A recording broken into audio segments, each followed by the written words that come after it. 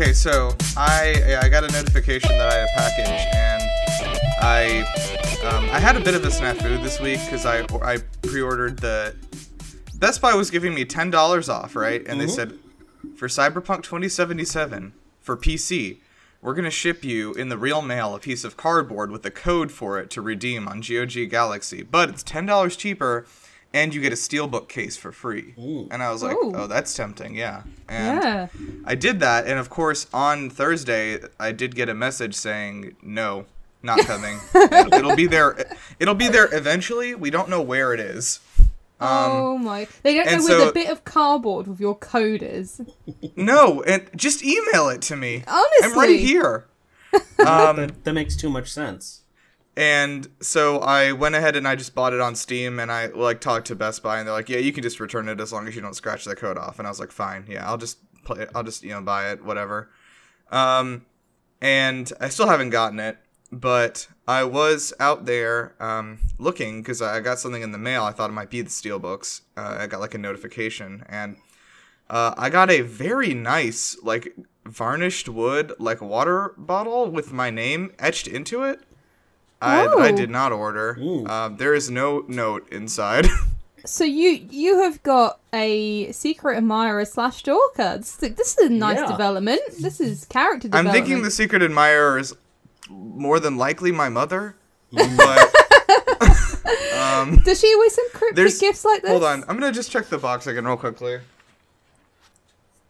I just love that she hasn't included any note and presumably didn't give Yeah. you a heads up about this. Is this? I like that Just, chaotic just make energy. sure you, yeah, wash it thoroughly just in case. you you never know. You know, it might be Hojo. He might be doing it to try and you know do an experiment on you.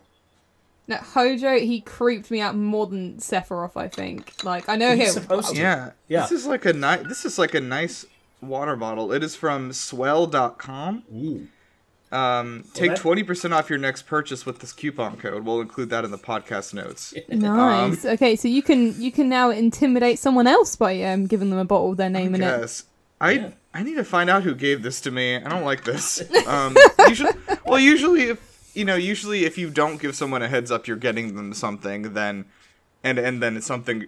You know, like you would put a note inside the box or something. Yeah. Yeah. There is a thing that says like, uh, gift from, but it's not filled out. Oh, that's even better. I love this. No, that's their name. Yeah. It's it's it's a blank space. It makes life very awkward for them. Please don't make fun of them. How insensitive. Okay, well I've I've got it sitting on my desk here. Um, I guess I'll just kind of look at it while we do this. All um, right. So you're going to Anyway, sound we'll let 'em terrified for the whole over you. podcast. Yeah, I'm uh, slightly worried. It's okay. Um, so anyway, welcome to Game Busters. This is a podcast from GameLuster.com. Uh, I'm Nirav and I'm your host, and as always, I'm joined by my lovely co-host Rhi. Howdy, and I also just want to use this chance to apologise for the fact that my PS4 fan is probably audible. Um, I'm downloading Cyberpunk, so yeah, have fun with that. Wow, it's still downloading, huh? From two days ago. I actually just got it today. I was in the same boat as you, just uh, like, oh, just okay. somewhere. Nice. Um, okay, and we have our special guest Tim from Game Luster. Liberty, fatally, Sephiroth. Dun-dun-dun. That's- Dun-dun-dun. My my knowledge of Final Fantasy VII ends there with Sephiroth. Hey, I mean, that's you- a good place did for it that- to you- end. Yeah. You told the whole story of it in that one video we did, and you talked about the That's pizza true. company, and I, The that's all I problem is like the thing I'm the thing I'm remembering is the pizza company stuff. like I have forgotten the real thing. I mean, they did make the rotting pizza, you know. Um, the okay, Mc, okay, I'll, I'll I'll get into it. We'll, we'll I will I'll piece it together as we go. All right. Um. Okay. Uh. So let me pop open the outline here. Um. I guess we'll kick off with the uh, the Hall of Fameluster. Um. Which I just remembered we were doing. Um. what I'll have to do, I suppose, is use somebody uh who I can think of in the next ten seconds. this is what you Uh, get for having the bottle in front of you. It's intimidating you. yeah. I'm gonna put it. I, I, I and then I don't know, man. I've I've got a problem with like the bottle. Um. Do not stare directly at the bottle. I, I keep thinking maybe the answers are there at the bottom of the bottle, but they never are. No, they they never really are. Um, There's a great Iron Man arc about that. okay, so um, let's let's uh, go ahead and get into it. Rhi, why don't you kick us off? Um, today, our Hall of Fame lister per, or entrant uh, is uh, the char- a character with the largest but still like practically usable sword. Okay, so I'm very annoyed with Sephiroth always being the one for you know the iconic ridiculous sword character. When um my boy Nightmare from the Soul Calibur series um has literally a gigantic sword I think about the same size as him. And bear in mind he's like seven foot tall or something. And also it has an eyeball in it. Um that doesn't I don't know I just it doesn't really serve a purpose. It's just moving about. Um, Oh no, but that- it's so the sword can see. Yeah, it's The sword is alive and a horrible creature. It, it is, um, and it's and it's a large boy. Um, I you know look it up. It's a big boy, um, and I would say it's practical in the sense that he manages to at least swing it around. But also, I guess having a sword of an eye could come in handy in a practical sense. Um, you could see further up, like if you were like at a concert and everyone's like taller than you, you could just hold it up in the air. You'd be very unpopular, but you could do that. Like you know, generally speaking. So yeah, I went with that. Okay, nice. Um, let's see. What, what was the name again? Uh, s- uh, nightmare. That's it. Nightmare. Nightmare. Yeah, with the soul edge. Okay. All right, Tim. Who'd you who'd you bring? Uh, so the character I brought was Lowe Guele from the uh, Gundam and Super Robot Wars uh, Astray uh, spin-offs. Uh, and his sword, which he wields in his giant robot, but it's giant. His giant robot's sword is the okay. Gerbera Straight one fi- or the 150 Gerbera Straight. And the 150 refers to its length because it is 150 meters long. Oh, is that practical? It, it is for him. It's actually he uses it several times to cut uh, capital ships in half. Okay. Uh, he, Um, he wielded it from a single block of space metal just because he could. Space metal. Nice. Uh, yeah. I mean, like when you can, why would you not? exactly. That's that's a lot of Lowe Guele's life philosophy. Um, okay. Well, uh, I have arrived at um, not uh, uh, the best I can do uh, on such short notice for myself. Um, is And you're the one Uh, who said that the fame lost. it was so late. I was playing Cyberpunk so late. Fair enough. um, I mean, I was playing Teardown last night, and that that's a time sink where you don't realize it.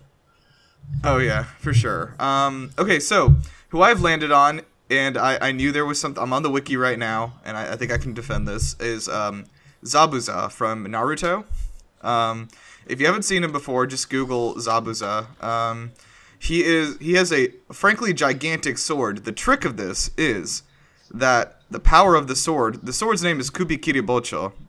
Um, and the power of it is that when it kills people, it absorbs the iron from their blood and dis- and pushes that iron back into uh, his body and makes him Oh. stronger so that he can continue wielding it. Oh boy, I'm looking Um, at it now, and that is interesting. It is a big sword. Yeah. um, It- that that hook there at the end, Yeah. that's made for specifically for decapitation. oh, because uh, I I guess rem- the sword I remember wasn't that sharp guy. enough for that. Yeah, I guess Yeah, you know you've got. he is have... one of the seven swordsmen of the mist. Uh, so he's one of the best swordsmen in the world, and he is uh, extremely quick with it because of its uh, properties and you know stealing iron. Um, so I, I think that that's a pretty good one. I think it is still practical for him, if not other people. I mean, yeah, it, it it does a lot. It's very um, you know, it. I can't. I, my brain's too fried to even. I'm, I'm just wrapping my head. See, other this. other people try to wield this blade, and they are weighed down because it's bigger than them. But uh, he he seems to be okay. It's Sorry, the versatile. wiki. Apart from him that. handling it very skillfully, Zabuza could throw it spinning at several enemies with enough power to lodge itself into a hard tree trunk. Well, he's just taking the piss at that point. I mean, how much Yeah. does he want from his sword? This is insane. Um, his waterbending powers apparently also help strengthen him to hold Oh, the sword. Of course, so OP. Yeah, he's a little. Well, he is one of the seven swordsmen of the mist. They're all a little OP. Also, he's Uh. so not OP comparatively to the power level uh, of the rest of Naruto. Y- Just the rest of the cast of Naruto, yeah. um, and uh, of course from the from the video game Naruto Clash of the Ninja 2. Yeah. Um, the best video game. Um, I mean, still, if- if I- st- sorry. Oh, I was gonna say if, if if we were gonna disqualify, you know, originally from something else beside a video game, I did have a purely video game example that was almost actually even Oh, more. go ahead and toss it out just for, for right. reference. Sanger Zonvolt from Super Robot War. He has a shape shifting sword Oh, either of those things. uh, that he can make. So he's got a 55 meter tall mech that can make. He can make as big as at least four times bigger than his robot, or shrink it down so that he can wield it on foot. Oh my god.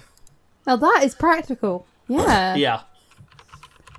Okay, um let's uh let's go ahead and get voting. Uh so you, everyone has two votes uh and please keep in mind Axel's law. All right. So Rhi, go ahead.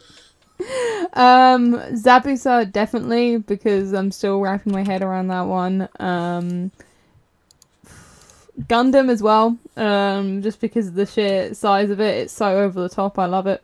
Oh yeah, it's also I, proportionally, I think, the biggest sword because the, the the the robot that wields it is less than twenty meters tall. So it's grabbing a sword Oh, wow. that's a ten, almost you know uh, eight times bigger than it. Can we get Okay, him in that Smash? is pretty big. Yeah. okay, um wow, I'm Yeah, Tim, where are your votes going? Uh, I'm gonna I'm gonna give one to Nightmare just because um, there is a lot of practicality in Soul Edge. Um, it makes you immortal. Um, granted, it, it horribly corrupts you, but you're immortal. yeah, Um, so That sounds uh, like Voldemort. Yeah, a bit. And and the the 150 Gerbera from Gundam. Okay. I just love the sheer, you know, awe. The it is Gar, if you were familiar with that term. Um I'm, I'm not. If not, but- no, Ken, it's it's a mecha fandom joke. So Okay, okay. Um, and then I was gonna give I'll give one to, to myself for Zabuza. I think that was good for pulling it out of my ass at the last second. yeah, and I then. I will give one to Gundam though. Uh, what was the name of the specific robot? Uh, the Gundam Astray Red Frame, powered red with the 150 Gerbera straight. I'm I will gonna ta- call him Gundam. Yeah, I'm gonna Does he type have a that all down for you. All right. um, I know I know of Gundam, but I have unfortunately not uh, gotten into it. Um, but uh, I've also not ever really historically been a mech person. God, that is that's Uh, just why does it even name that long? Oh. Bloody hell. Also, how's this gonna fit in? How's The this gonna fit Astray is into the type, Red Frame was the model, Powered Red is the variant, and 150 Gerbera Straight is the sword. You know what wanna- I like? I like okay. My one of my favorite animes is Code Geass, which is another mech Yep. anime. But in that one, You the mean it's names are long just like Nightmare Mark Four, Yeah. Nightmare Mark Three, Nightmare Mark Two, and Mo- I'm like, yes, th- A, this a is lot right. of a lot of Gundam does follow that. Uh, Lowe Guele just likes to get colorful with his titles because Okay. he's the one who designs his own mechs. So, am I right in thinking Interesting, the Hall okay. of Fame luster is still on the moon? Because we're definitely yeah, gonna need that I, space. I mean, a Gundam will definitely be fine on the moon. I'm Oh not yeah, no, they about they build they build them on the moon. That'll be fine. They do. Oh, fine, Yeah, perfect. then. Maybe we have a Gundam manufacturing facility nearby. yeah. Just Oh, see if it, God. you've got Anaheim Why not? What would be the zoning for that? Probably industrial, I mean, right? we, Yeah. we already we already just bought the moon off Elon Musk, so I wouldn't be surprised if he left Oh that yeah, behind. I'm sorry. We should have opened with that. Yeah, we the, the deal with Elon Musk did go through. We are we do own a small section of the moon. Um, uh, when I say small, it's like you know several hundred square miles, but uh, it's it's still uh, the problem is that um, as we're building, the ground is kind of shaking a little bit because the moon is hollow. Um, Well, is it about to hatch? Is that the thing, or is it? we're worried that it might be hatching. We're also worried that there might be an army of Nazi scientists in there. Oh, if it's an Um, army of Nazi scientists, then Majora will kill them. This is a real theory, by the way, if anyone's not aware. Oh, yeah, There's no- a real group of people that believe there is a giant group of Nazi scientists that retreated to the Hollow Moon and are Yes. still Like, there I'm creating. sorry, weapons Watch the documentary government. Iron Sky. No. There's isn't there enough Nazis on Earth? Why would they have? Why would they go to the effort Well, I don't hollow need them out on the another moon? planet, too. Yeah, like Because- they don't because have to those- hide on another planet. They they're fine here. They get on fine. They're actually here. doing really well here, They're unfortunately. thriving, you know. They- Why would they go to the effort to hollow out the moon and chill there for a bit, you know? I mean, the I like a theory lot of came about people- like right after World War II. It's been around a long time. Yeah. I, I love the the idea though, like when people are like, oh, like Hitler's still alive, like they didn't find his real body in that bunker. I'm like, even if they didn't, he would definitely be dead by now. Yeah, yeah. Have you ever seen? Oh, what's what's it called? Um, there's this great, I want to say New Zealand comedy, um, where like Fly every to the epi- Conchords. No, yes, where every episode they try to kill Hitler. Fly to the Conchords. But no, um, I'd watch that. Uh, I, I- I'll, I'll remember the name later. We can put it in the notes, or, or I'll remember it. But like every episode is a plan to kill Hitler, and then in the second season, it's in the '80s, and they have to deal with Hitler's time travel shenanigans. That's not a sentence I thought I'd hear today. Uh, at one point, Uh. Hitler goes to a high school and becomes Johnny Hitler. it's it's Johnny so Hitler is something. It's not nothing. Um. all right. Let's uh let's get out of here and let's get Danger Five is the name of the the series. Danger Five. Okay. Like the Jackson Five. Yes.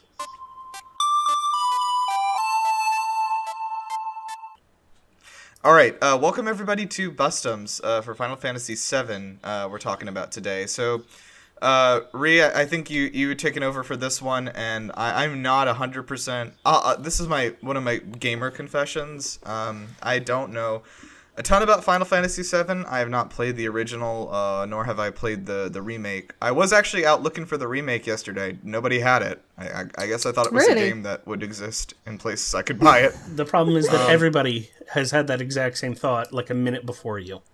Right. The problem, well, th- again, my interest in Final Fantasy VII skyrocketed when Sephiroth appeared in Smash Bros. And so I was like, let me just go grab that remake. And I think everyone else also did that. Yeah. Um, no, I, I would not be surprised if I hadn't grabbed it. You know, months and months ago, I might have done it I- too. I do have fifteen dollars in credit at GameStop though, so I will. I will. And it expires today, so I'm trying to I'm trying to get out there. Yeah. Um. Put it all on FF7R. Yeah. Um. So anyway, I don't know a ton about this game, um, except for the video that we did, where um, you should watch on YouTube, where uh, uh, Rhi put together a helpful slideshow, and I had to guess. The problem is, again, like I've, I, I I think of Final Fantasy VII, I'm like pizza, samurai pizza cats. What's going on? like I mean, you're technically not wrong. I keep thinking of the big tiger, and I'm like, was that the samurai pizza cat?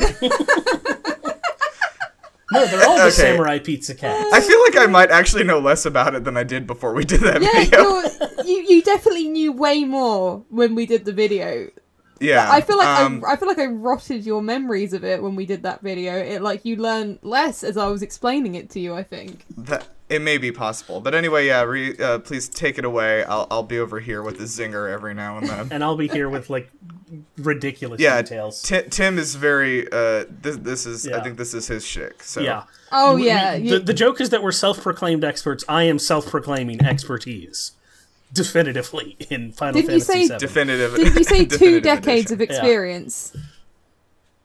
Did you did you say two decades of experience with this game, Tim? Two- uh, I have two decades getting into the weird nitty gritty and arguing with people online, Nice. and only fifty percent of that is LTD. So, uh, Okay, so um, to make you mad, uh, my experience goes back to March, um, but in that time, um, but in that time, in all seriousness, I have absolutely fallen in love with this game. Um, I found it at the perfect time, I think, um, with the world ap- like literally falling apart. Um, yeah, no, that's a great place to, to play a dystopian game. it was, and it really, it really like meant a lot to me and everything. Um, so I'm super excited to do an episode on it. But anyway, first, before we go into how like fucking great that game is, we are just gonna do a brief bit about the development, and Tim, you can interject if I miss Yep. something out because I probably am because I'm a, I'm a, I'm a zoomer basically.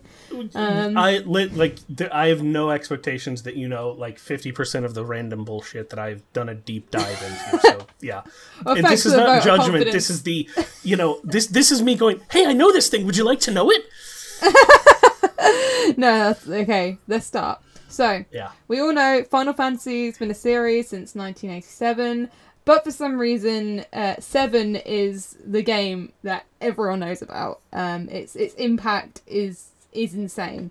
Um, Uh, so curiously, um, obviously well known for its juicy PS1 graphics um, and cutscenes, it was actually originally on in development um, on the Super Nintendo and was first planned in 1994. At that point, that was just the planning stage of uh, looking at what the game would look like. It was put on hold for a bit and then brought back in 1995.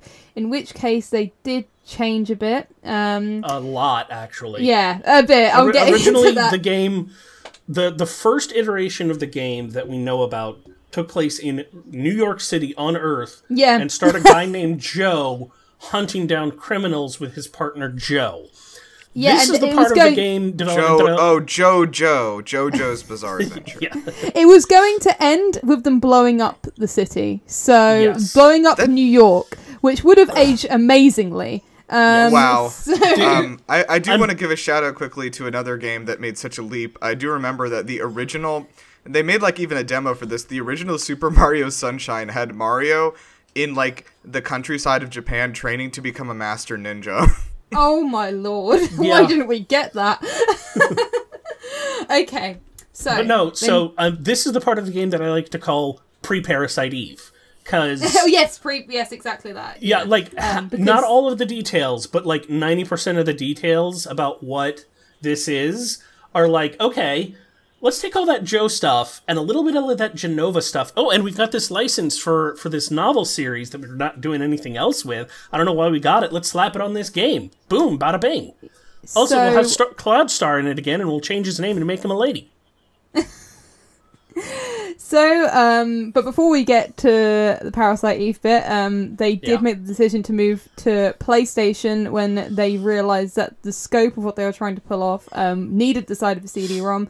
Um, they were considering the Nintendo 64 as well, but it just wouldn't pull off the graphics that they wanted to to do. Um, uh, specifically, seven, they didn't have the, the the storage for the graphics they wanted to do. So um, Seven um, is insanely innovative for the series, using 3D animation for the first time in both cutscenes and gameplay. Um, if you, I mean, just look up Final Fantasy VI right now. Look, the difference is night and day. It's insane. Um, but most importantly, Seven made the massive leap from taking the series from medieval fantasy to this dystopian sci-fi setting. Um, the art director of the game, um, you'll probably know this name better than me, Tim. Uh, Yusuke Yasuki- yeah, we go. Um, calls it dark and weird, and I think that is the perfect way to sum it up. Um, at the time, it was the most expensive game ever made, which is really easy to understand when you consider how long it was in development and the fact that they were working with completely new tech from what they'd worked on before. Um, so overall, it took a lot for it to become the game that we know today, and it's just crazy to think that it could have been so much different. Oh yeah. Uh. Uh, even after they had um, switched from the New York setting to what we more readily recognize, there was a period where the main character was essentially Zack and not Cloud. A period where oh, sorry about that. Uh, if anything changed on that, my cat just fell asleep on the uh, keyboard. Uh, there was a period where there was no difference between Tifa and Aerith, and they were a character that I think was named Tifereth. Uh, and that character that was name. related to the character who uh, looked Wait, so like my Vincent. Tifereth ship was a real character? Pretty much, yeah. They used to be Uh, one character before being split off into two, and they were uh, at one point both siblings to, and then at another point lovers to the character uh, we know as Sephiroth, but who looked like Vincent at the time. Yeah, it was a wild one. Um, and obviously, yeah, like Aerith and Sephiroth. Oh, were and meant to Barret be was called Bro. siblings. So yeah, Aerith and yeah, Aerith and um, Sephiroth were meant to be siblings, which is why Yep. Aerith sort of has remnants of Sephiroth hair. And why and why Tifa and Vincent are also so visually similar because at that stage in development, those were the two character designs that were Tifereth and Sephiroth.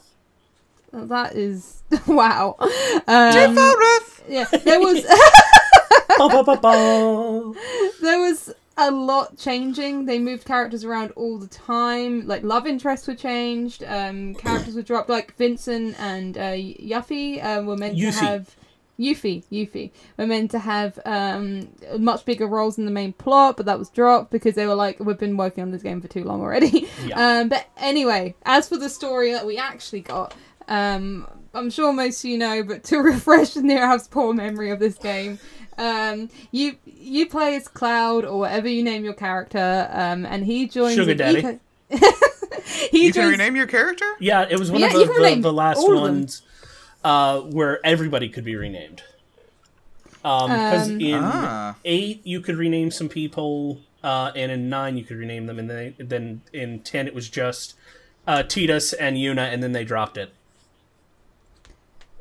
So, um, what was okay? I'm getting lost. Okay, yeah. So, you join the eco-terrorist organization Avalanche. Um, the Cloud is joined by Barret and Tifa as they live in the forgotten slums of Midgar, um, fighting against the tyrannical Shinra Corporation, who are destroying the planet for profit, essentially by uh, mining the planet for its life source. Um, For its very Wait. lifeblood.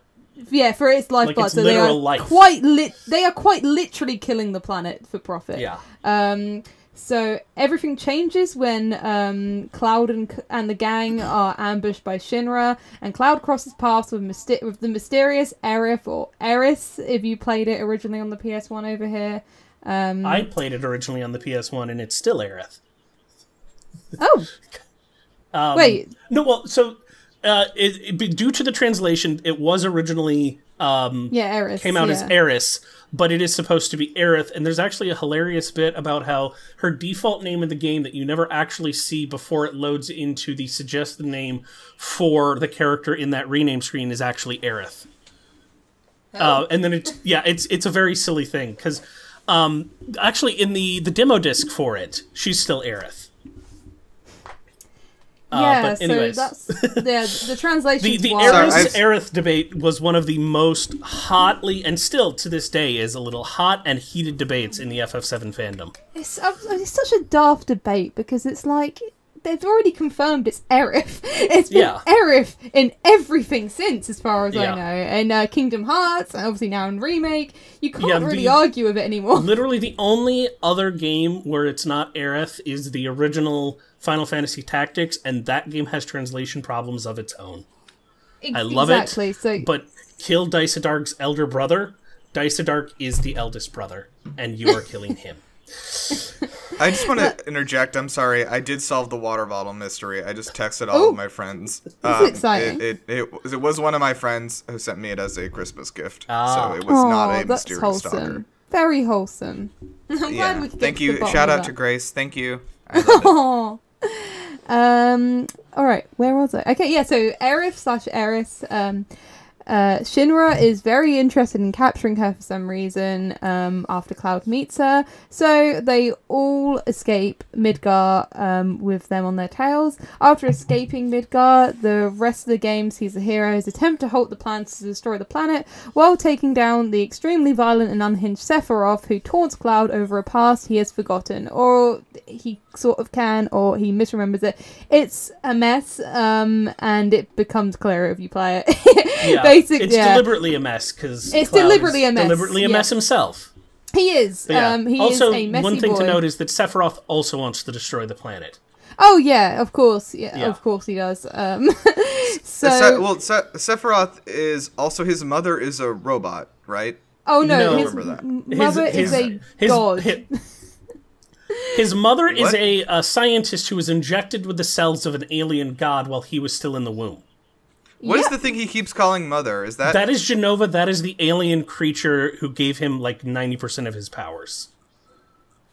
okay? Yeah, so he's a normal boy.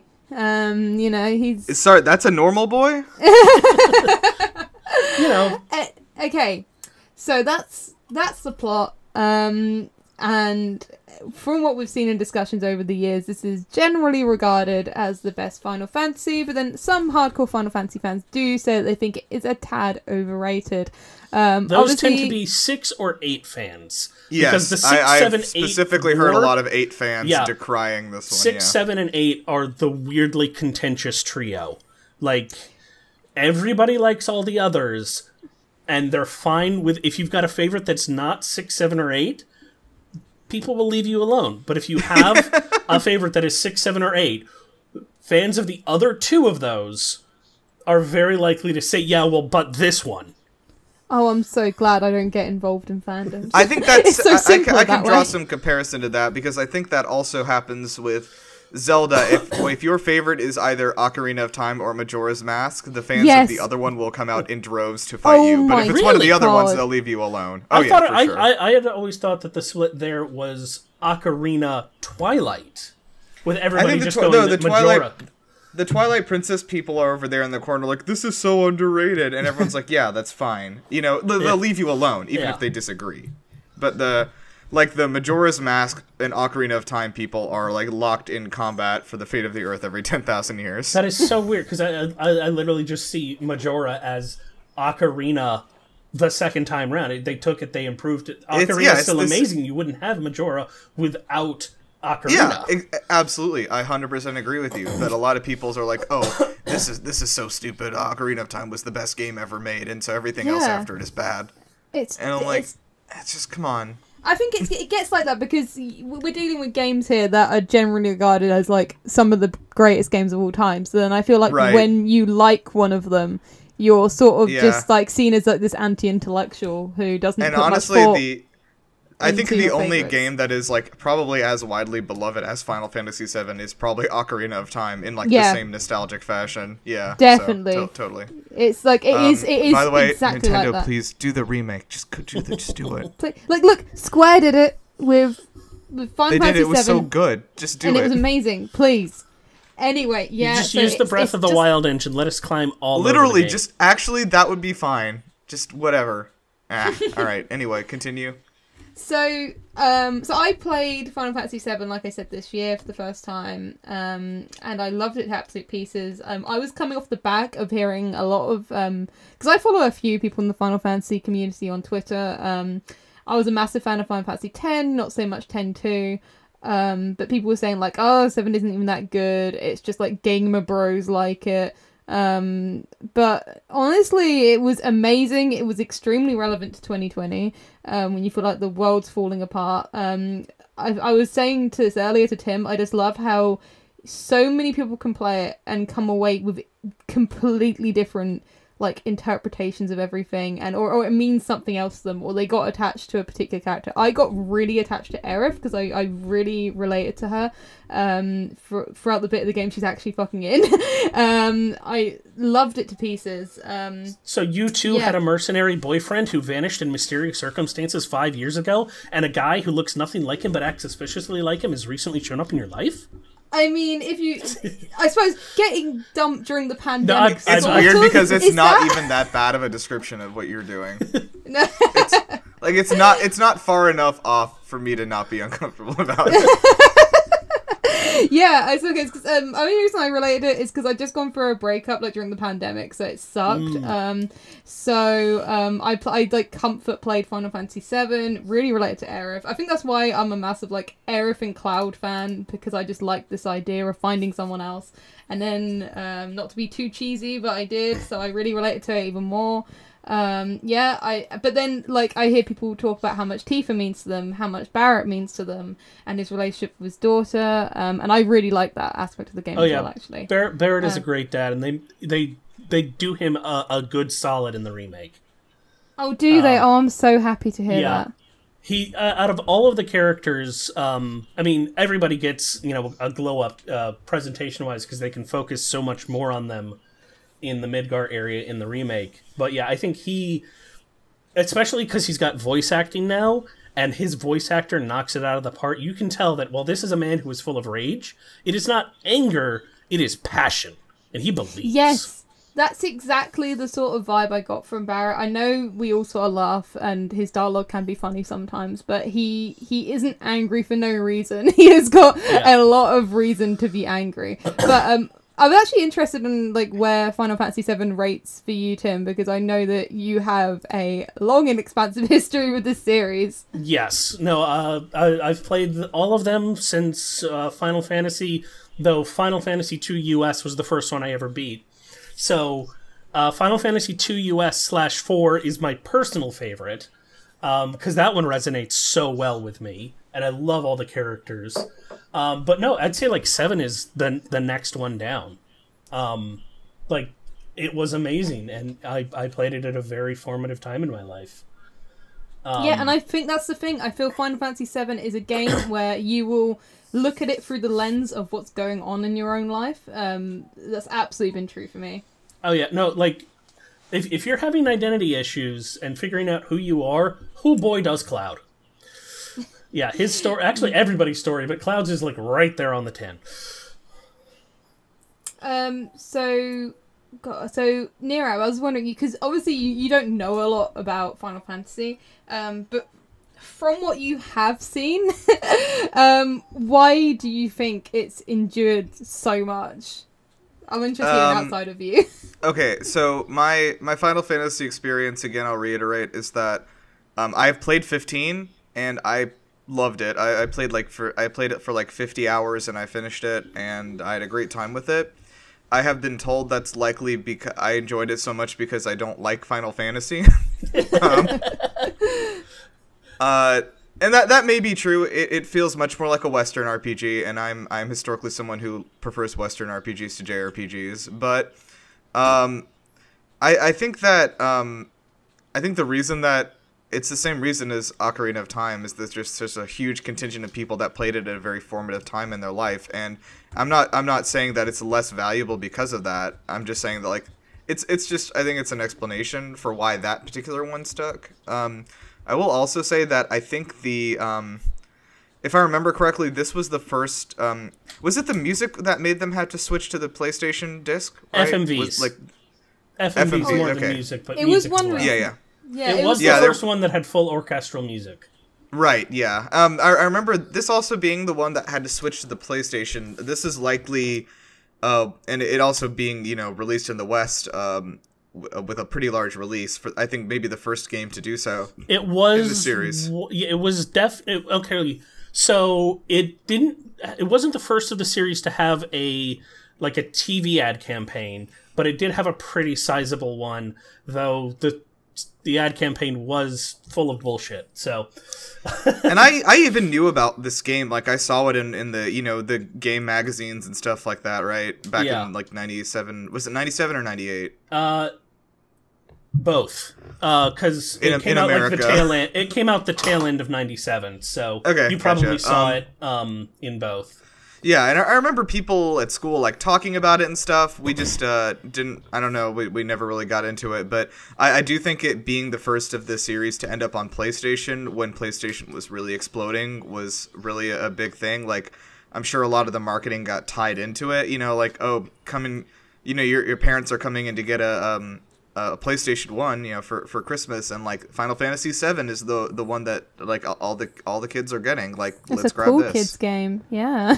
Yeah. So Um, I one of the things that I remember so so much about the uh, the marketing was that they they advertised it like it was a movie, and then the greatest adventure of the year is not coming to a theater near you. It's only coming to the PlayStation. You know, oh my god! I, I didn't know that. That's that's very interesting. I don't. I my knowledge of of old uh, game commercials pretty much begins and ends with the the rapping Zelda one. the rapping Zelda one is amazing, but no, the um the the FF7 ad campaign, uh, if I may digress for a moment, has led to a lot of ridiculous nonsense in in the fandom because people would take the bullshit that was said in those commercials like they were gospel. Oh no. And That's like reading J.K. Rowling's Twitter and being like, "This is right." yeah, Oh, that's funny. Um. All right. Man, okay, it's interesting. So, sorry, did they have like non-canonical stuff happening in the commercials, and like Uh, people would well- argue about if it was real? Oh well, one of specifically one of the things is that the uh, um, it talks about you know a hate that always was, a love that could never be, you know, um, and and other like big grandiose terms, and it also I think spoils Aerith's death, which a lot of the marketing does, as does the back of the box. I don't know why Why? people were so like you can't talk about Aerith's death; it's a spoiler. They spoiled it. They're not very good at hiding it.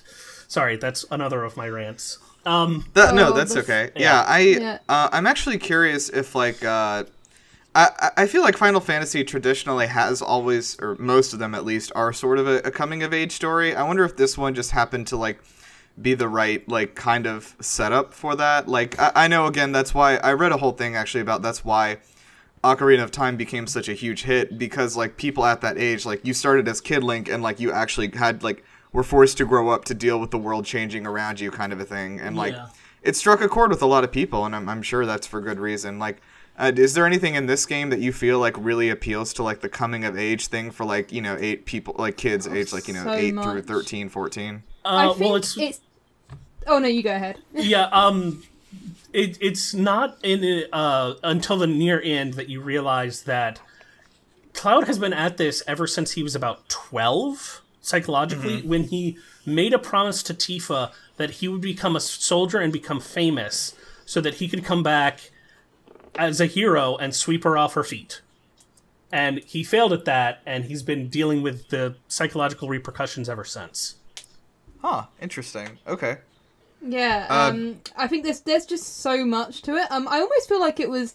I feel like that bit of it being a coming of age thing is intentional, definitely. Um, I feel like there's some unintentional elements. Like a lot of people talk about how, uh, like I said, going back to um, like Aerith here from like a female perspective, I guess. Um, I look at her a bit differently from other character from other like fans do.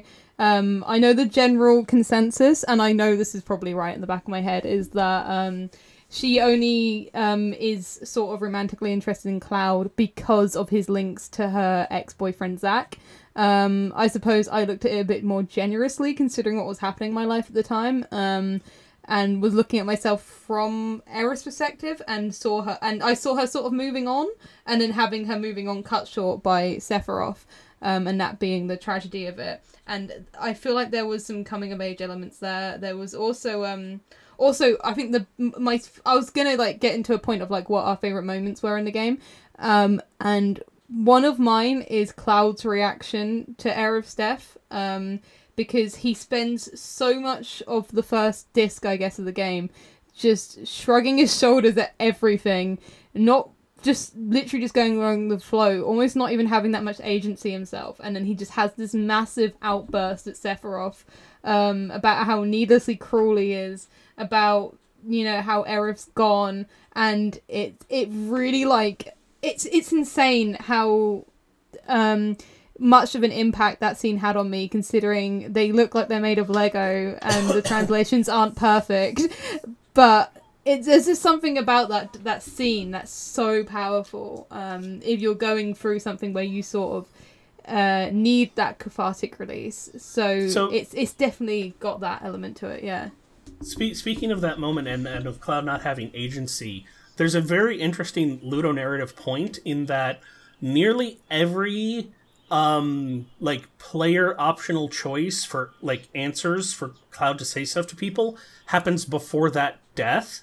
Whereas after that death, he starts asserting himself like you don't get to choose his witty responses. He picks them.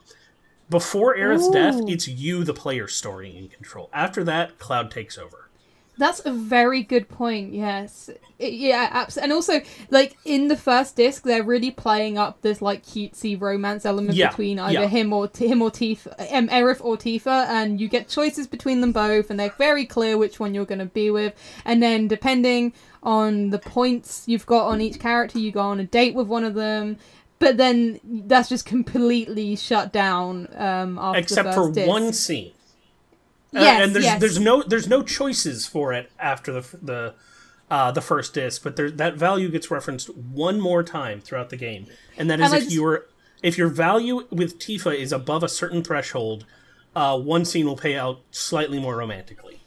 Yeah, and I just find it really interesting that they. It, it's one of the first games I think to sort of subvert genre tropes.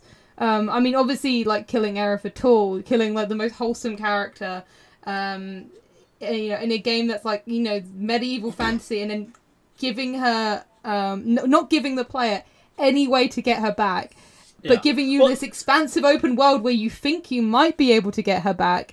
Um, It's not the first time that you know Final Fantasy killed off uh, a, a major playable character. Like they did it all the time in two, three, and four, and once in five, and once in six. The difference is that in every other occasion, it was a heroic sacrifice. In Yes, Aerith's and this case, time it was it was- bloody fucking murder.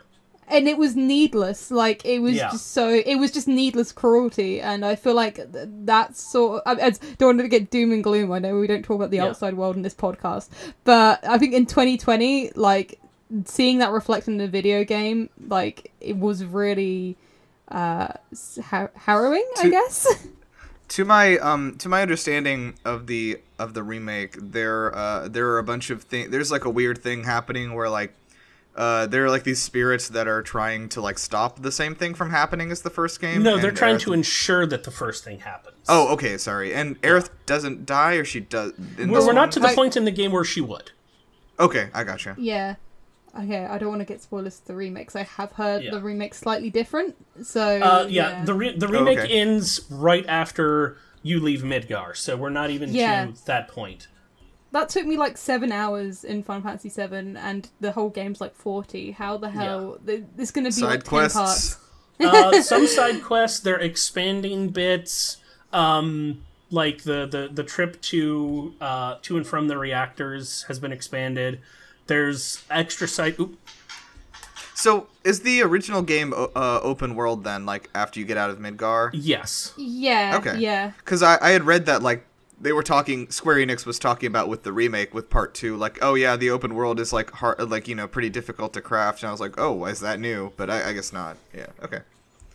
Although I'm sure the open world will look a little different now. Oh yeah, no, because uh, they're probably going to throw in references to some of the cities that we know exist, but just weren't in the original game. Sure. Okay.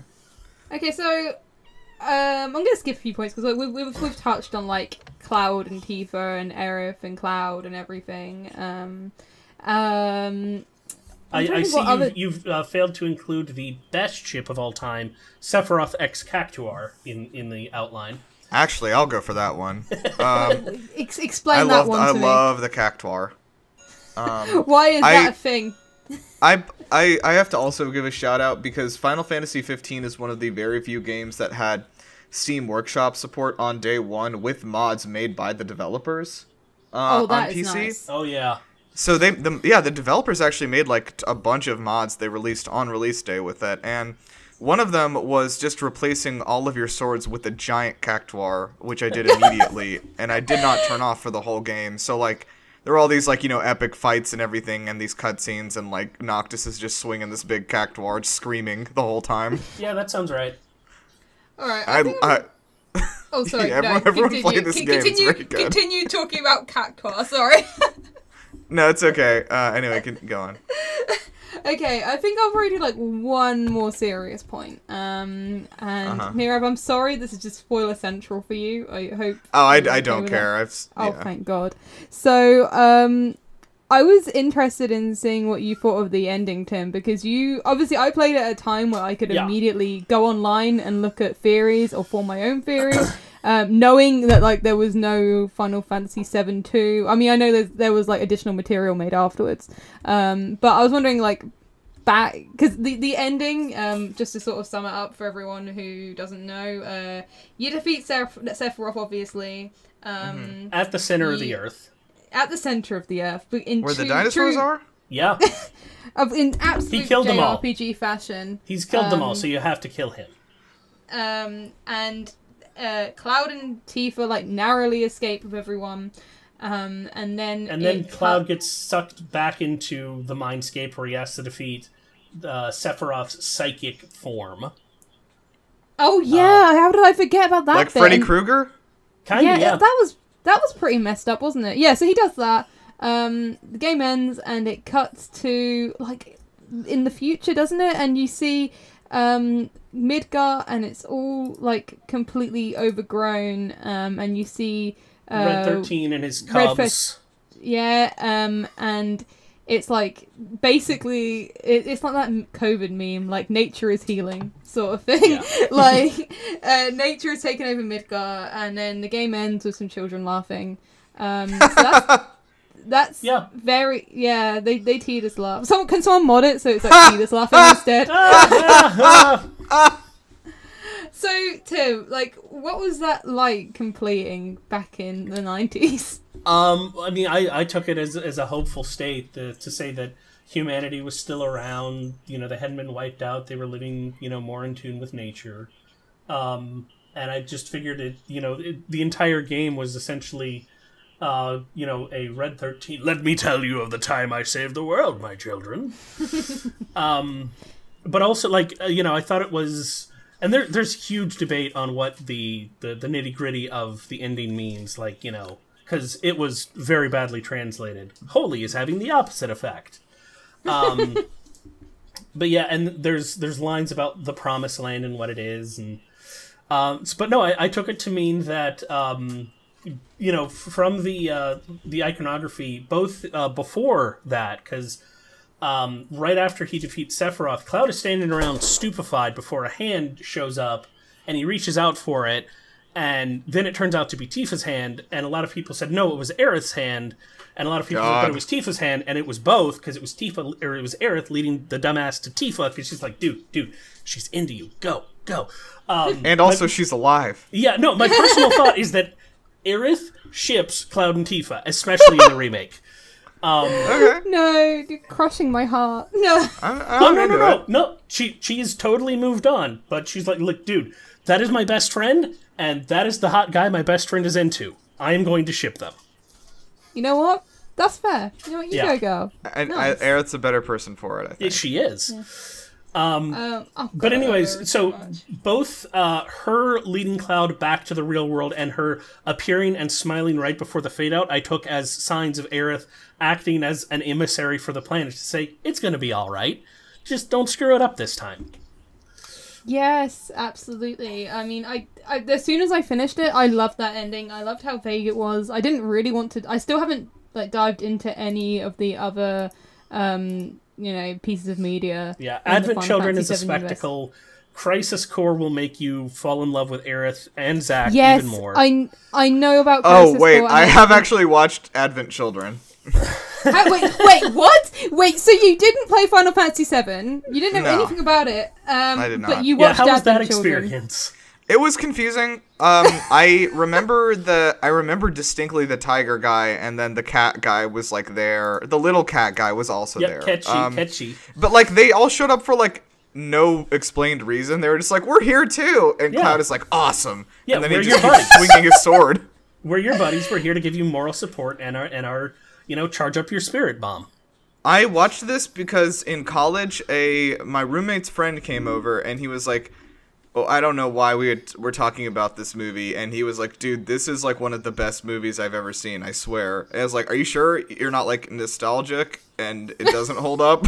and he's like, "No, no, it's gonna be really oh, good." Oh, And I was like, "Can I watch this with knowing literally nothing about Final Fantasy?" He's like, "Yeah, it's gonna be great." And both So of he those was things like were the wrong. worst. Yeah, he was like the worst human being ever, basically. Yeah, but then like while but like halfway through watching the movie, he actually was like, "All right, this movie's actually very bad." Yeah, no, I I, I, love uh, Advent Children complete.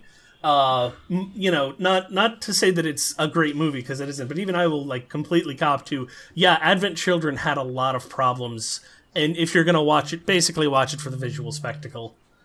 Um, it relies way too much on uh, like out of movie context, like from novellas in the game, to really get the whole Oh, story.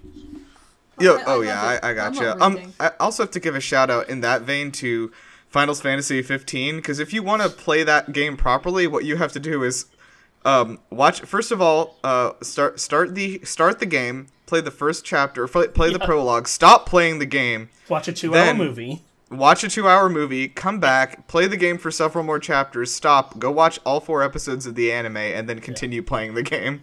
And people criticize Kingdom Hearts. Bloody hell. I mean, King- Which I did do those things, Yeah. by the way. So yeah, no, so, so so did I, and so did Kate. Um, but you also forgot that there's also the various DLCs and the book of the DLCs that never got released. yes, Um, yes. And no, King, Kingdom Hearts is also bad about this, mostly because there's so many different entries, and they're all on different systems, or were until very recently. Um, Yeah. God, that's a mess. So, like, should I just? Because I'm gonna play Crisis Core, but should I just ignore Advent Children? Oh no, watch Advent Children. It's it's a it's a fun spectacle movie. Don't expect anything in terms of like complicated plot. Like it's basically think of it as Cloud's catharsis session where he just gets to beat the shit out of a lot of people and feel better about himself. Good for him. I'm happy for him. Um, I guess to to close off the important question: Do we stand Cait Sith? It, whatever, however you pronounce it. Ketchi. Wait, say That that, can't again. be true. Ketchi. Was this What? a mistranslation too? Uh, no, Ketchi is how you spell it. Ketchi is how you uh, C A I T S I T H is a valid spelling of Ketchi. It's it's an old Gaelic uh, for you know the mischievous cat. Oh, old Gaelic. Why didn't I know that? What? I know. I say I say that like anybody would know it. but The only reason d- I, I know thought it is it- 'cause I've done a deep also, dive an- into- I think until we did our video, I thought his name was Cat Sith because he's a Yeah, cat. that's- no, That's that makes a lot of sense, doesn't it? how I said it in my Uh, which head is why when I was playing in the one of my recent playthroughs, I named him Plagueis because he's the That's cat easier. Sith. Um, Oh. Oh, I'm too amused by that. no one ever told you the story of Cat the Wise. yes. uh, but no, It's not a so we- story we call that him- Shinra can would we- tell you. Can we call him certainly Patsick? would. Actually, no, Reeve would. Reeve loves his Ketchi form, uh, or his little robot buddy, I should say. But do we stand him? Uh, yes, actually, he's useless as a playable character in the original game, but I love his story.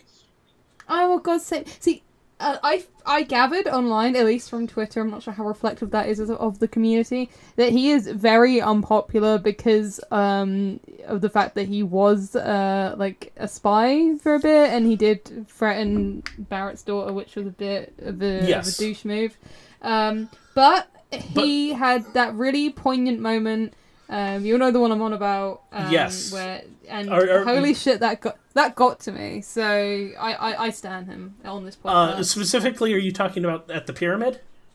yes, the par- yes that Yeah. that oh god That is a wonderful piece of narrative, like speaking metatextually, because that's the part where you think the game is making fun of, you know, sacrifices, and it is.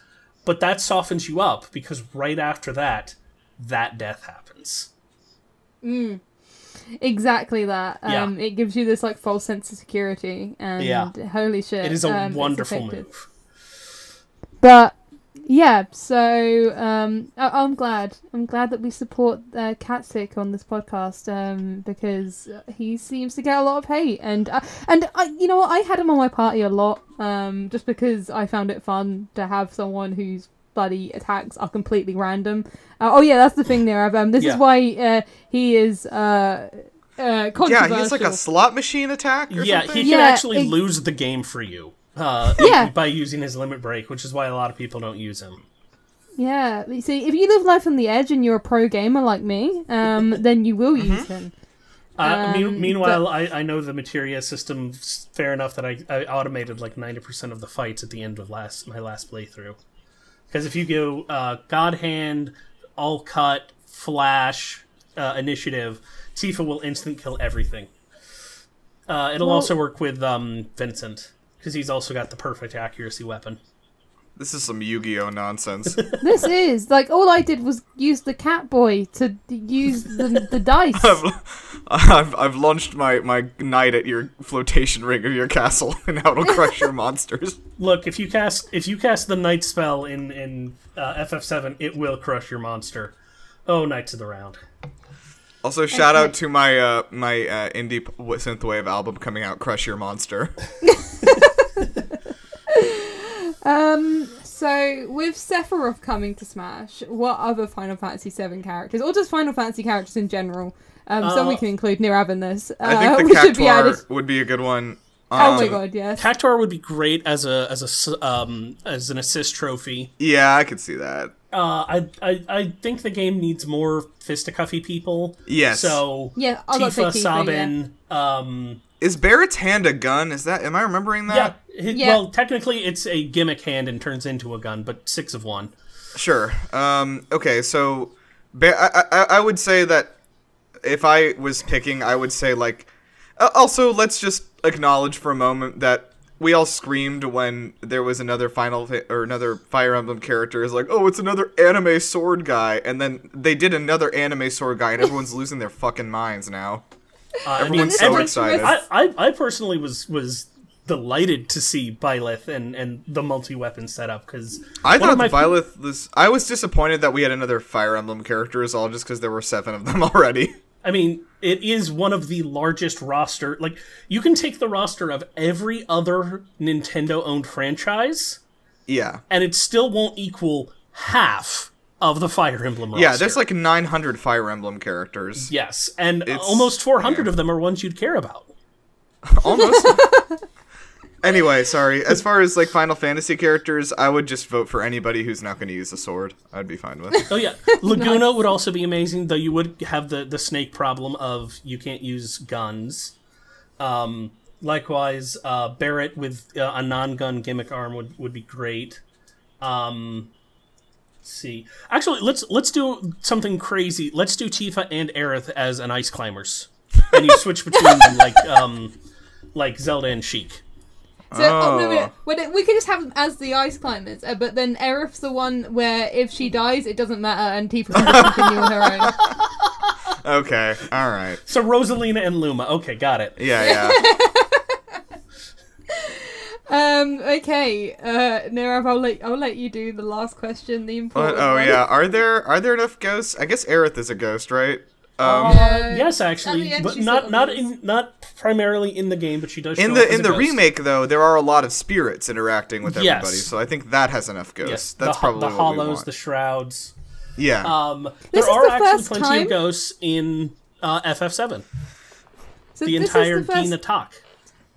first time like we've said, oh, like this game could do with more ghosts, and the developers have already listened. They've listened Yeah. to our concerns, and they added more ghosts. That's Some would true. say they added even too many ghosts, um, which is they're why you have to, you know, destroy a lot of them in the game.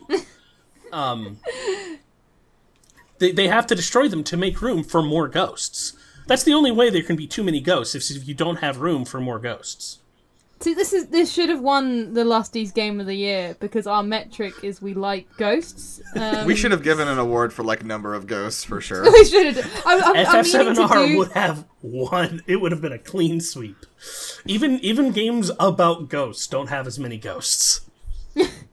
as we get towards the end of the year, I was gonna do like our own like uh Hall of Fame Luster award where we have to just vote on the best Hall of Fame Luster entry, but that's gonna be interesting because they It's gonna be- range a lot. yeah. It's a lot of different kinds of things. All right. Well, um, let's. Uh, I guess we need to move on. We're probably uh, we're kind of come up on time. On time.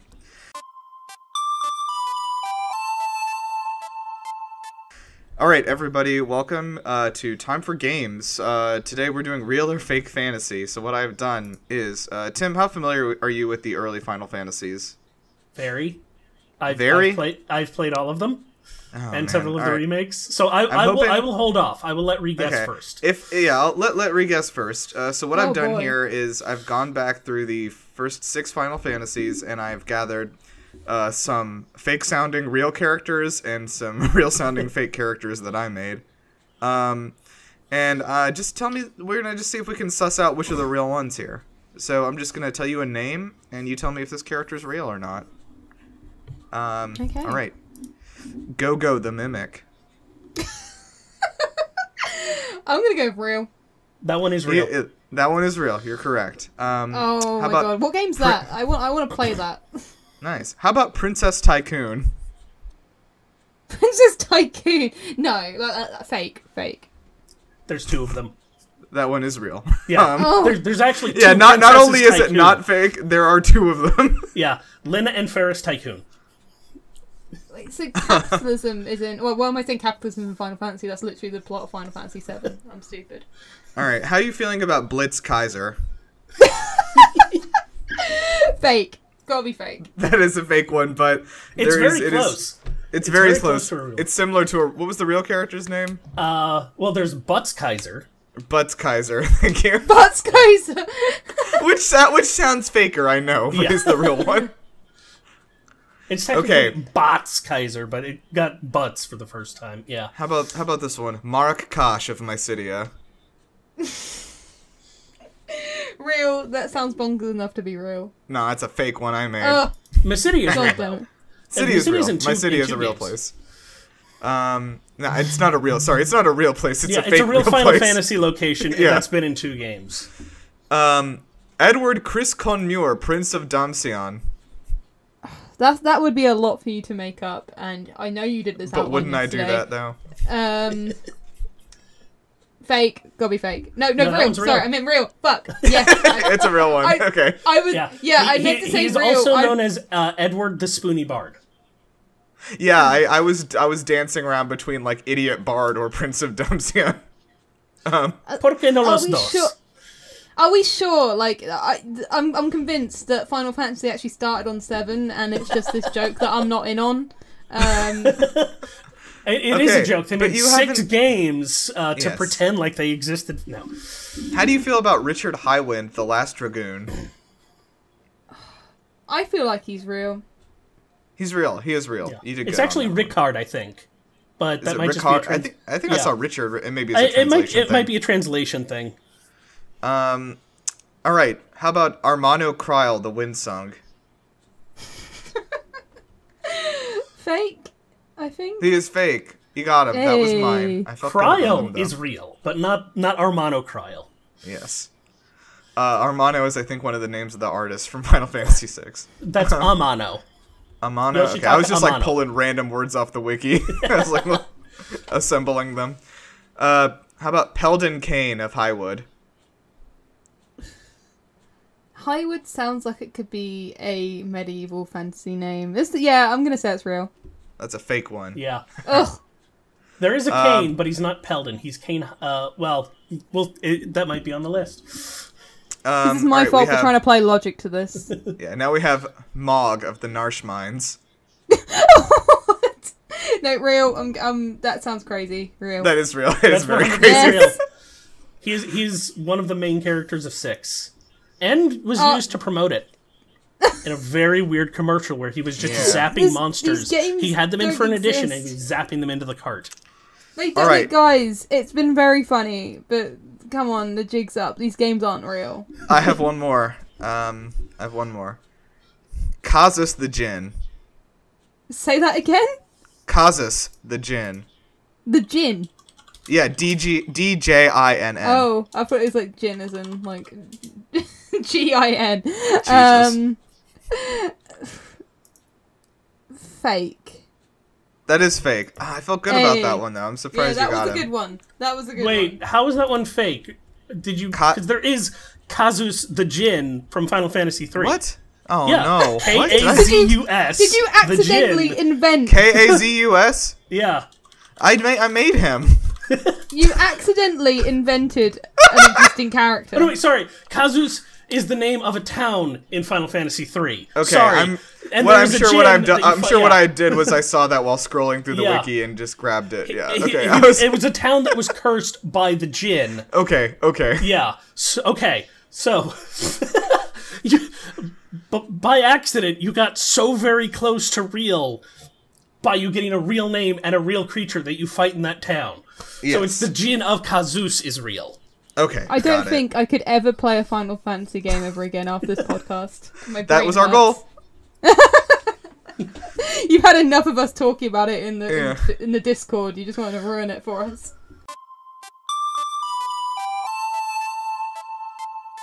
Um, all right, so yeah, we are. Uh, let, let's close out here. Um, so I, I wanted to talk quickly. What are what are people wanting from Final Fantasy 16? Like I said, 15 is the only one I've really played. Um, so I have some thoughts, I guess. But I mean, I, I, I've heard from a lot of people that they want to kind of return to the older, you know, style of games. Obviously, what are you guys thinking?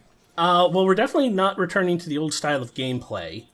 Uh, Oh, yeah, we for are, sure. We It are is- it is- definitely Yeah. looking a lot more like. So visually, Final Fantasy 16 reminds me so so much of Final Fantasy 3, um, especially the remake.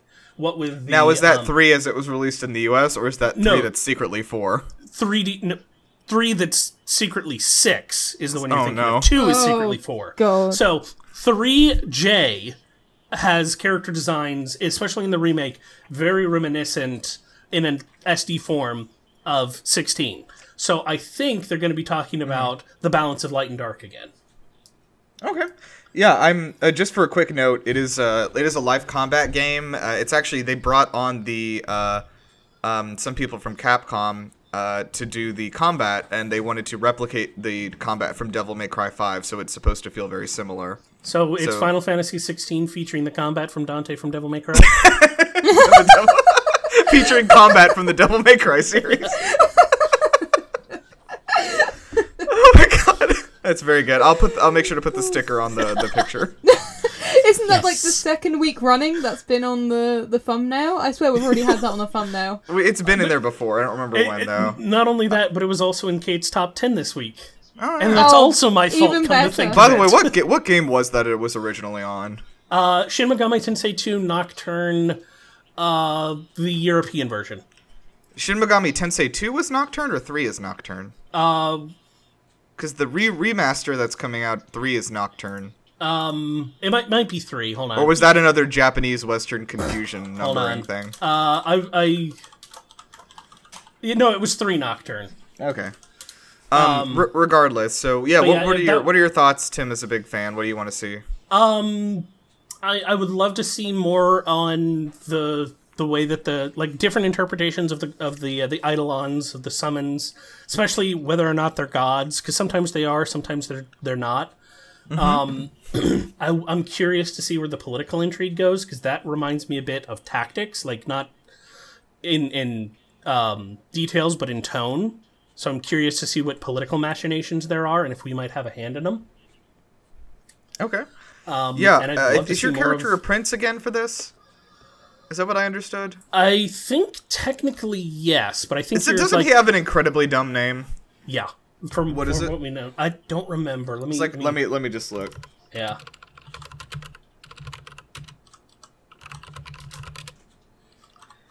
His name is Clive. Yeah, Damn it. Wait, what? yeah. It, it's it's so Clive Rosfield. Yes, the firstborn son of Clive? the Archduke of Rosaria. Yeah, Clive Rosfield. That Clive sounds, Rosfield is Clive Rosfield is my is my barber. I don't know what this. I mean That sounds it- it- it- exactly like a Japanese writer coming up for a Western name. It's Well, like the, thi- the thing it's is, like the entire actually Resident a Evil lot cast. of like, oh yeah, they've got a totally normal name, because like there was Cecil and uh, you know, um, Bart. I think was the original intention behind Bart. Butts, and Oh my God. Terra Branford was originally Tina. Um, and I wouldn't be surprised if Cloud was originally meant to be Claude, but enough on that. And then we just go off into the weeds. Okay. Bloody hell. Um, I, I guess more Clive is what I want. Um, Yeah, More Clive. Um, we're I gonna feel get a lot of. We're wait, gonna get a whole game of Clive. I can't think of another game that um, is led by someone called Clive. Uh, Clive's Clive's Quest for the uh, Atari, twenty six hundred. Clive's Quest, um, adventure Nice. game yeah. Where's Uh, the Clive's Quest fandom at? came out in two thousand ten. Weirdly enough, very late.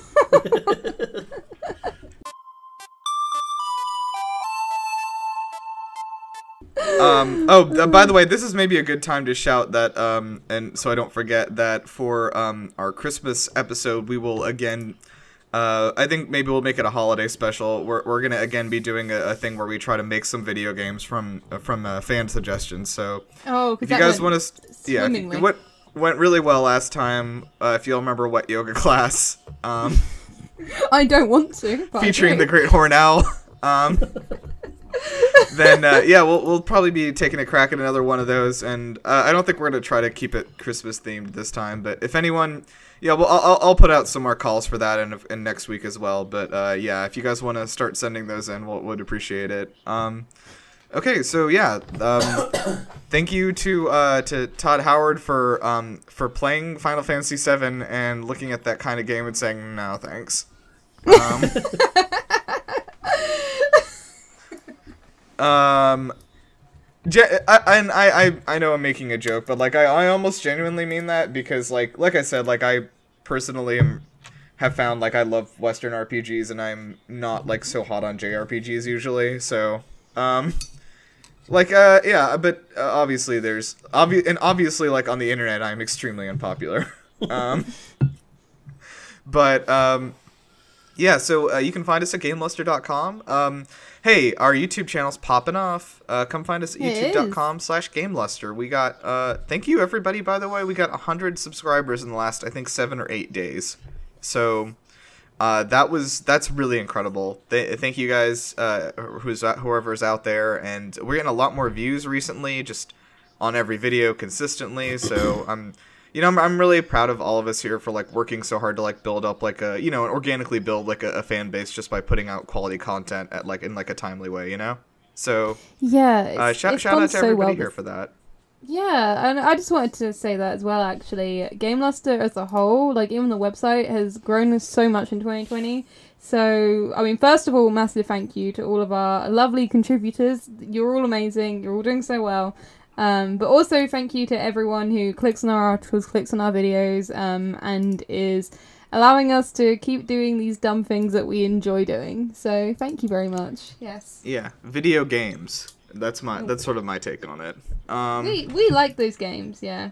Yeah. Um, so yeah, uh, make sure to find us on whatever podcast store you're using, Apple or Google or whatever, and give us a give us a good rating if you like us. And and if you don't, uh, the name of our podcast is the Joe Rogan Show. um, so yeah, and uh, yeah, make sure to follow us on Twitter at GameBusters Pod. Uh, we do some giveaways too, so uh, check us out for that. And uh, oh, the Lusties. Um, we did our Game of the Year awards uh, for Game Luster, and they came out quite nicely. So you can check that out on YouTube. And uh, you can see the real Game of the Year awards starring Yeah. the real Geoff Keighley, which is me. Um, yeah, and you might be less mad at our ones because I think I, I think very ours are with the game awards. ours are probably like going to be more popular widely, but Yeah. yeah, Just our- our definitely. No, you, but- people are gonna have to, uh, you know, play a, a, a, an eighty-hour RPG to understand one of our winners. 80 hours is really gracious. it's a 120 Eighty hour hours is game. if you're very quick. Oh yeah, no. Yeah. We we logged up about 120 hours total. I'm thinking of just to get to the part where you learn who the antagonist is. I need to find out. Like, yeah, like I said, Persona 5 is one of my favorite games of all time, but like, I'm not really ready to commit another 100 hours to playing it again for Royal. Um, but like, when I'm, I'm thinking like maybe next year or the year after when I do come back to it, just for like nostalgia's sake, I'll, I'll play Royal and that no, should. definitely play Royal. Yeah, yeah. There's so many quality of life improvements. Nice, nice. Um, okay, so any plugs, Tim? Uh, I mean, there's you know um, console tours and introduction to plumbing, both of which we need to get back on. We've kind of been uh, letting them slide because real life has been a bit busy. Um, and you know, just keep watching, uh, keep reading my stuff. But more importantly, keep reading Kate's articles because Kate does most of the work at uh, Game Luster.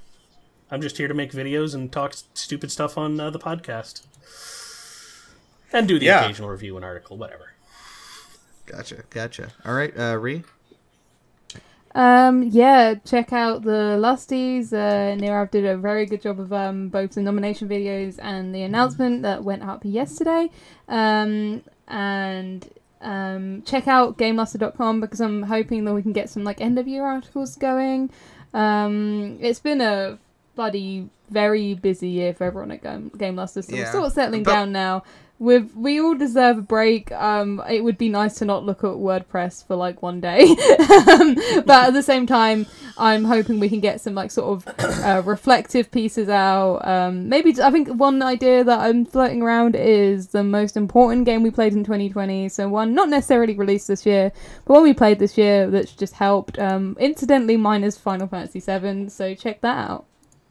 Yeah, um, yeah, I'm, I'm excited to write about that. Like, I, I remember, like, at the very beginning of the, uh, of the pandemic, uh, lockdown stuff in, like, March, I retreated into the, uh, Xbox Game Pass world of Sunset Overdrive, and that really helped me just, like, fucking blow some guys, blow some juiced up boys away. I've been considering buying that the next time it goes on sale.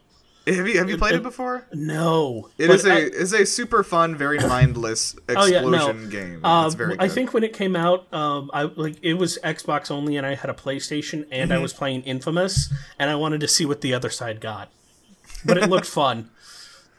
Um. All right. Great. So, uh, yeah. Um. I guess last word for our our winner. Um. I have. Um. I, I'm kind of gonna reshape how we do this at the end here. What I'm thinking is that. Uh. So. uh, Tim, yeah, you did uh, you did win with the Gundam at the beginning. Mm-hmm. Sorry, the uh, the a- the Astray red frame powered red with 150 Gerbera straight. Yes. Um, and if you could just jump on on his back and uh, ride him out, what I need you to do is there like I think we're gonna kind of stick with this now. Um, to break us out of this podcast and free us from this prison, uh, there is a there is an incantation or a passphrase that only you know, and you're going to say it to get us out. So please take it away. Well, then obviously we have to say the, the most meaningful and thoughtful thing, the entire most thoughtful line in all of Final Fantasy VII.